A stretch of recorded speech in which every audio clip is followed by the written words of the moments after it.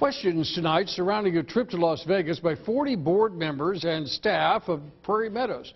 KCCI's Todd Magel has the news story for us. Todd. Kevin Prairie Meadows has given away tens of millions of dollars to charity since it opened its doors. But now, one critic is asking, did a trip to a Las Vegas gambling convention use important dollars that would be better served to a charity? On a one-to-one basis, if I spend a dollar in Las Vegas, is that a dollar less that goes to schools? Polk County Supervisor Bob Brownell is asking that question and more It's always controversial. after a Des Moines Register investigation into a trip to an annual Las Vegas gaming and gambling convention called G2E. More than 40 volunteer board members and employees and spouses attended. Prairie Meadows isn't saying how much the trip cost. My point is that being a little more transparent would probably be a good thing. An attorney for the casino says the cost is not public record. And CEO Gary Palmer has said the Las Vegas trip is not about parties, it's about learning to improve the Altoona casino.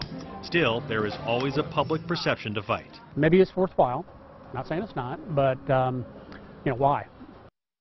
Now, a spokesperson says Prairie Meadows will not comment on the Las Vegas trip until Wednesday, and Kevin, a board of directors meeting is scheduled for 2 o'clock that afternoon. Thank you, Todd.